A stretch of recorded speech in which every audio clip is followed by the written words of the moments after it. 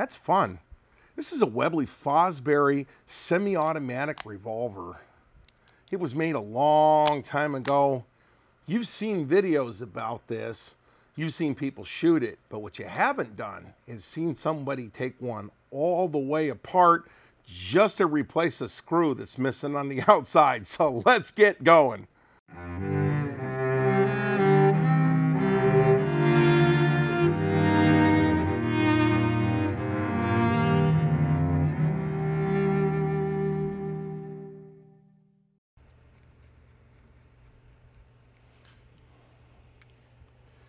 Possibility that these grips are um, repop because the escutcheons are not set far enough down in.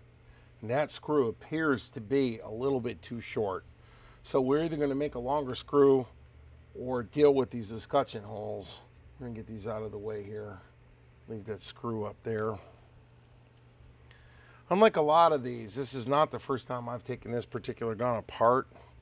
So I'm not going to be really, um, I don't have to fumble with it too much.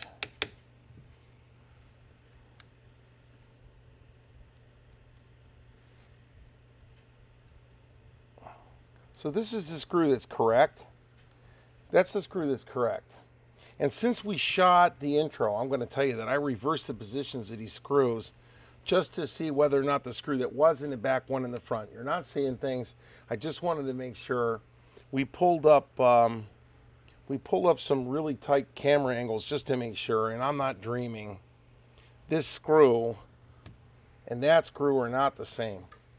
So what we'll probably wind up having to do is refabricate a smaller version of this because the head size isn't right, nothing's right. We're gonna go take a look at what it's gonna take to make these true screws appear right. The head's all messed up on this one. Okay, so we're there. Now, this particular gun, the way they did this, the side plates push through. So this side plate comes off and you can see here the groove that the slide runs in and then this side plate comes off and there's the groove for the other side. So these two side plates grab all of this stuff and give it the ability to slide back and forth. So the first thing we're looking at is this gigantic arm right here and this flat spring. This is what pushes the top part forward and catching all that. So to take this off, Bruno had to do a uh, an animation on this gun. So we've had it apart. It's been conserved already. So when we get down inside this, we'll show you a photograph of it while it was dirty And we've since boiled all the Glock and the Zardoz out of the inside of this thing, and we're kind of moving on. So I'm just going to take this plunger, retract it with my finger, and the top and the bottom half of the gun are going to separate into two pieces. So the first thing we note is this catch right here on the safety lever. When the safety is moved up and down, that catch engages the back side of this hammer spring stud and locks the gun ever so slightly to the rear. We'll demonstrate that. And then that, that uh, disconnects the trigger so you can't drop the hammer. The gun goes nowhere. This is not a wipe on, wipe off safety. This is not a safety on a 1911. This is deliberate. I'm going into the commo bunker and safing my weapon. I'm going back out on the battlefield and making my weapon live again. It's like a C96, like a broom handle this is a conscious effort to turn this thing on and off. Okay, we'll put that up there. We'll put that up there, right? So we can tear the rest of the bottom apart. There's not much here. There's this particular arm, and you can see the action of that spring there. And I'm going to tell you, that is a vicious leaf spring. I mean, vicious. You can hear it popping. Um, we're going to have to control the energy of that as that comes apart. Um, and then the rest of it is pretty simple. This is just a, a, rocker. But here's what makes the Fosbery unique. And let me get this into a spot here with something black up against the bottom of it. This particular spring-loaded detent here this spring-loaded detent is going to snap around, there we go, thank you, is going to snap around the sear stud. So the sear is sticking down right here. Here's the sear right there. This is pushed upwards. So there's your half cock notch and there's your full cock notch. So when this is over the top of that, you push up on the sear right here. I'm just going to show you. It's right at the end of the screwdriver. We'll tear this the rest of the way down. You'll see it better. But you push up on that, and that allows this to fall. And the only place where it's in a position to push is right when it's fully locked forward. It's the only place where this and this line up over the top of each other. And I'll show you how that works here in a moment. So we'll go ahead and finish tearing this down. The trigger just pops out. And here's that spring-loaded part I was talking about. The last time I went after this, this pin was put in and peened and ground over flush. There is the spot, beginning gunsmiths, where you stop taking stuff apart, and this is where it is. This was obviously never designed to be taken apart, but there is a spring and a stud up inside this. This is free to rock back and forth on a very, very fine leaf spring. Boy, there's a spring I don't want to have to make again. Let's see if we can extract that. If I remember right, this actually doesn't stay in there very hard. Now, maybe we can push it from behind. Ooh, baby, that's a small hole. Tap on the end of this extemporaneous punch here. And we can see then that that spring is beginning to lift right there. It's lifting, it's sliding out on this little tube right here. So we should then be able to extricate this the rest of the way out. And that's the, the feather spring then that rolls the trigger back up into engagement forward. All right. This stud here has kind of a lozenge on it. It has a surface this way and it has a surface this way that engages in the zigzags. And we'll talk about that a little bit later on how this cylinder is actually rolled and how it's locked because this is not like any other Webley you've ever seen. Some engineering changes were made. This is a very, very difficult spring to get a spring cramp on. Um, so I've decided to just knock this post out and let it pop. Now that piece popped and the pin wound up underneath this bench block here. And then I seem to remember that it's just easier to control the energy as this comes out and then this thing will literally fall apart. So I think it's easier to do it that way than it was to try to grab this spring in a spring cramp because I'm going to tell you what, I can barely flex this thing with my fingers. This spring is as hard as a rock. So that's out, that's out. The stirrup is another one of those ground in pins, the stirrup here, that pulls forward on this. Um, so I'm not going to take this apart. Like I said, we got all the we got all the Glock out of it before. So the arrangement for that is this right here, where that spring is actually pulling um, forward on it this way, and it's making it up like that. I'm sorry.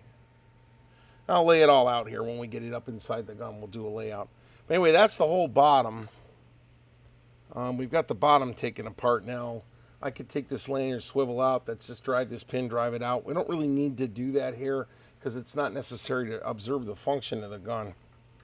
So now we get into the top. The top's a little different kettle of fish from your standard um, your standard revolver here. When the top is opened, this will come out unless it's being held in by this upper plunger, dependent upon where it was. Depressing this plunger and lifting the cylinder out, there's nothing grabbing it. Typically on a Webley, it's being held in with an arrangement down here that you have to fold out of the way to unlock it and pull it out. But the, Fos, the, the, the, the Fosbery is held in index differently than the average gun is. There's a locking spring right here. Yeah, bring it on that there's a locking spring right here. And this locking spring is there's another spring up in here. And in that surface right there, when you close the gun, this picks up.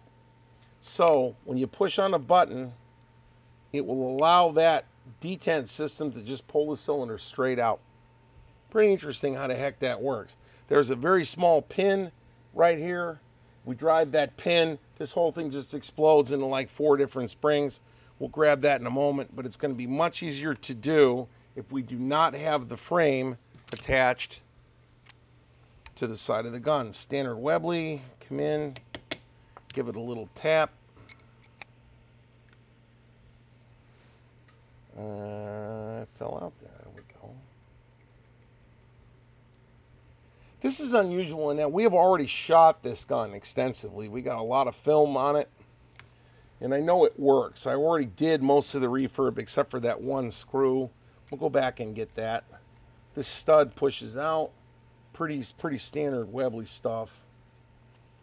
And then that comes out and then there is a spring-loaded gizmo in here that gives you the ability to automatically eject the cartridges. So that little finger that little finger gizmo pushes on that and gives you your ejection. Okay, that sits over there. We're going to leave the parts for the upper separate from the lower.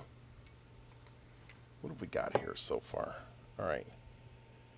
This thing got a little bit dirty. We go in here. Hang on a minute. Slightly smaller punch.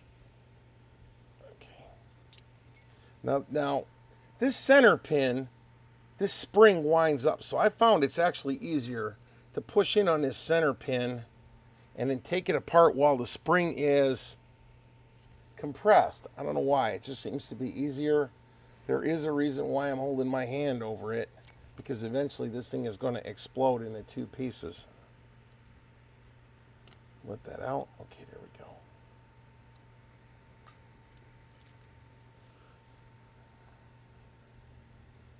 Guard this spring with your life. Those of you that have ever tried to bring a Webley back from the dead, this Webley ejector spring is made out of very unusual diameter wire. It is an unusual diameter spring. Maybe I'm full of it, but I don't think I am. The star pops out of the center, is held in alignment with a single, um, right here, a single pin holding it in alignment pretty simple, except there are no teeth on the star wheel. It's the oddest thing you've ever seen. And now that just leaves you a lot of metal encasing a lot of holes. This thing has some pretty major power. Uh, 265 grain projectile going about 780 feet per second. It adds up to about a 1911. 15 years before you get your hands on a 1911 and it would give you six rounds about as fast as you could pull the trigger. This was not a bad deal back in the day.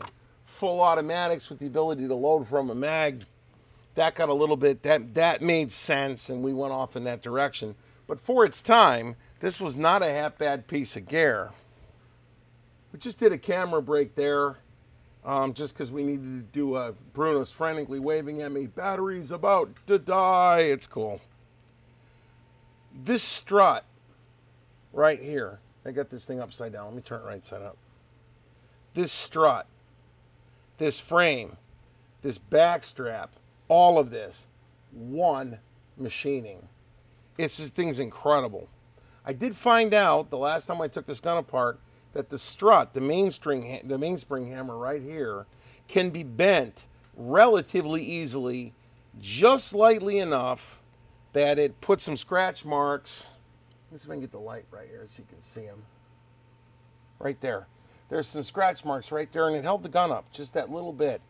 So every action you have, and I bent the gun with a two ounce ball peen, as we've said before.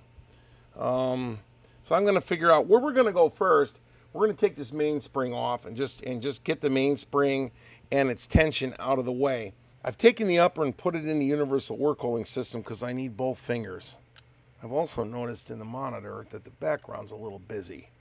So let me tidy up the background here a little bit. There we go. Now we got all this contrast on this towel, right? Okay.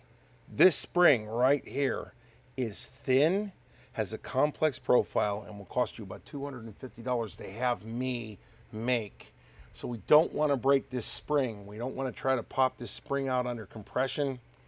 We don't want to do a few things. The other thing we don't want to do is we don't want to twist that stirrup right there.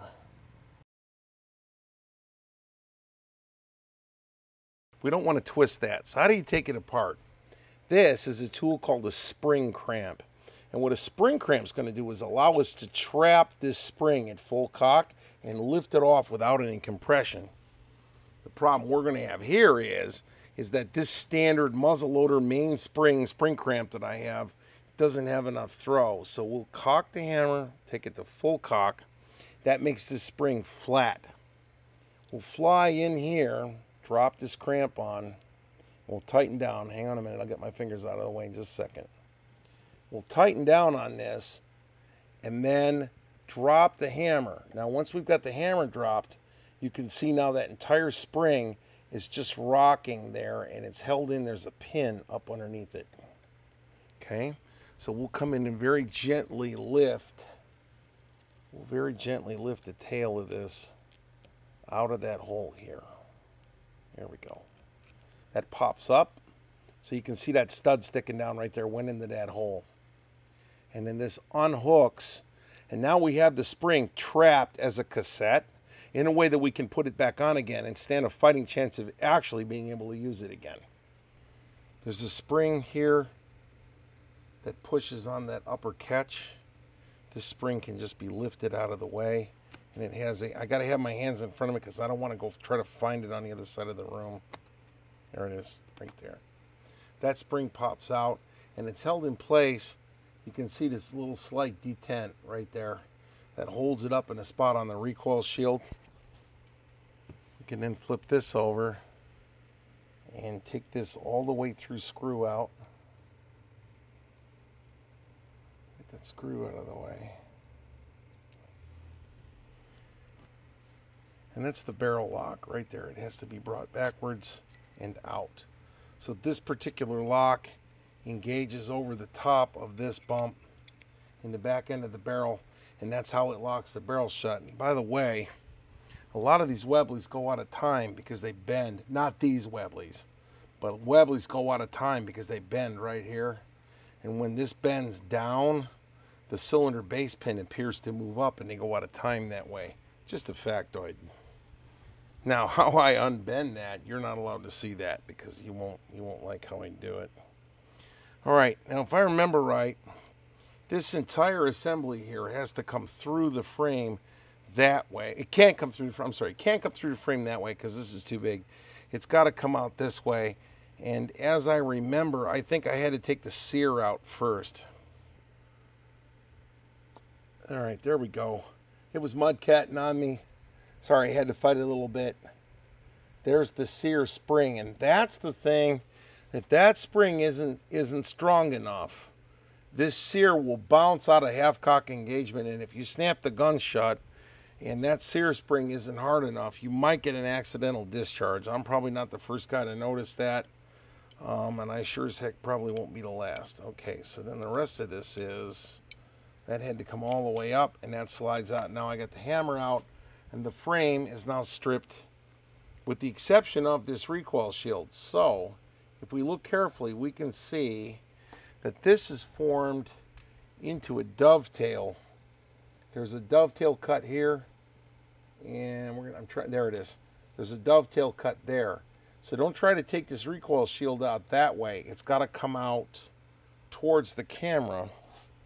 So in that regard, we're going back up on top of the work holding system because I got to hang on to this while I tap it. We've done a reposition and I've got it up in the vise now. And we'll pull that that retaining screw out. Now this thing is as soft as a piece of butter. So you got to be real careful how you hit it. And I'm just going to set this brass hammer here and massage this thing out.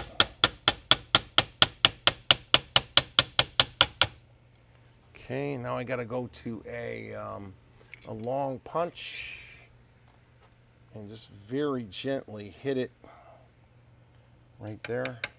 I know I'm in the way. Here we go.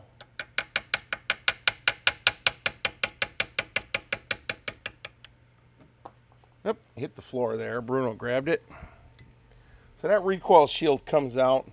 And the nice thing about this recoil shield is if this gun got corroded or messed up and the headspace went a little long, you could replace this piece. Good luck finding one. Well, here it is in its magnificent glory. This is a B-roll shot that I took before we cleaned it the first time, and you can see the mong all over it. Here it is laid out after it was cleaned, and I just want you to see this. I'm holding on this and talking over this still picture so that you have time to freeze it and study it if you need to, if for some strange reason you ever needed to look down inside of a inside of a Fosbery. Okay, let's go over now and talk about how this thing works semi-automatically. Okay, this is an unusual camera angle, but I had to get it because I have the parts of this thing stacked. There's a Z-axis to it. Um, because I've got the trigger sitting down where it should be, but I've got all this stuff mounted on the outside of the gun to give you some idea of what's going on here. And it's actually pretty simple. This is the sear, and the sear has a spring which goes into this hole here. So it's spring loaded that way, or if it's down, there's the half cock notch, or if it's back, there's all the way, right? So as you cock this thing, this cocks, that cocks, okay? This surface right here on the trigger, when rotated up, can push up on this, and when it pushes up, it causes it to pivot around. Now note that it can only do this when the gun's at battery. The moment the gun is not at battery, this is disconnected. So, if you, I got, I got it all kind of cobbled together here. If you push up on this, this will push up on that. This will cause the hammer to fall, We'll discharge the cartridge, and we'll bring this all the way to the rear. And the trigger is rotated all the way up. Now remember that this is spring loaded, okay? So that's back down here. I'm sorry, it'll be like this when it comes all the way back, and I'll tell you how that happens here in a minute. This will come all the way back forward again, and it will push forward on this and come all the way into battery here. And then when you turn the trip when you turn the trigger loose, it will snap around behind it, bank, and it'll be ready for the next shot. So this will be folded up until you turn the trigger loose and it'll snap down behind that and it's ready to push up again. Now, on one of the side plates, there's a stud sticking up. That stud right here, when this is in position on the other side of the gun, that stud's over here. So what that stud's going to do, it's going to bear on this post right here. So as the gun comes to the rear, that stud will be sticking down over there on the other side. And as it comes to the rear, it, let's just say my finger's that stud, and it will pivot around that and will cause the hammer to go into full cock. It's that simple. Um, Bruno's doing an animation on this thing. It's not done yet, but over at B Animations, you'll see it up. I'm pretty sure when C&Rsenal does this, it'll be in theirs. We would use it in this episode. However, I've got the actual hardware. Um, either way, there are several excellent diagrams of this that came off this particular weapon that are available to be seen over there. So that's pretty much it. Let me get this thing respotted. I'm going to lay it out on a towel and show you to show you what it looks like clean, and then we'll go from there. So having done all that, I've laid this thing out in its functional parts groups. We have the barrel. I took that lock apart. So you have, let me, let me take this out of the way here so you can see it. This is that spring-loaded tab that moved up and down. This spring pushes down on that and up on the lock button, and then there's a pin that holds it all the way through. We had the inside the cylinder. Now I can put the cylinder back. Had the nose that spring that I told you, don't lose that spring, and then the star, and then this is the finger with the little spring-loaded gizmo on it right there. Hang on a minute. There's a little spring-loaded gizmo on this here. You got to remember that. All right. Uh, let's keep moving backwards. Recoil shield, recoil shield retention screw. This is the top lever, um, the lock, the top lock, spring. Again, I don't know if I got all of this nomenclature right. I'm just calling it by what I think it does. This is the hammer, the sear, the sear spring, the only coil spring on the entire gun right there. and he says that, and there's a great big one said, eh, never mind. The mainspring, um, this is the action spring, the action spring lever coming around the corner after we get out of the main body of the gun. Then we have the lower, that pin goes in there. This is the inside of the safety, the outside of the safety. Note the square hole. There's a square drive on that. Um, this is the uh, the side plate that goes on the left side of the gun, the side plate that goes on the right. These two hollow threaded studs are for the action screws, and there is a little alignment tit that goes right in these two little alignment holes right here. So when you put these in, don't beat on these things to make them go in. They have the tabs have to line up and drop through. We've got the correct size screw, and then we've got the screw with the big head. And the only thing I'm going to do to modify this screw is chuck in the lathe very quickly and turn the diameter of this head down to equal that, and it'll be right back. Other than that, a little bit of trim out, and uh, this thing is uh, going to be ready to go back together again and um, pretty good. I'm going to lay them out here and tell you that assembly is the reverse order of disassembly. This is another gun I got given in a bag, and I'm going to tell you what, turnabout is fair play. So, yeah, I can't do that. Let's put this back together again, and then we'll do a proper outro. What the? At least I'm back in the. No! No! No! Ah, uh, hell no.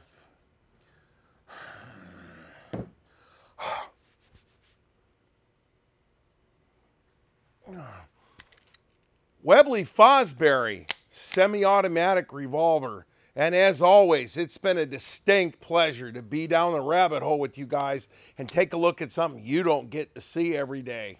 Finally.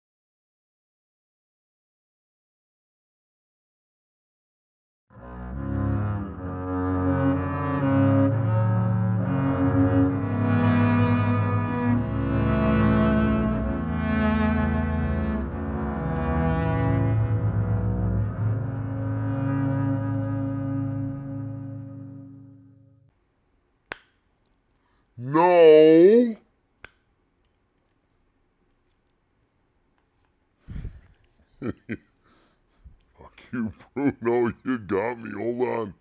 Hold on. Hold on. You got me.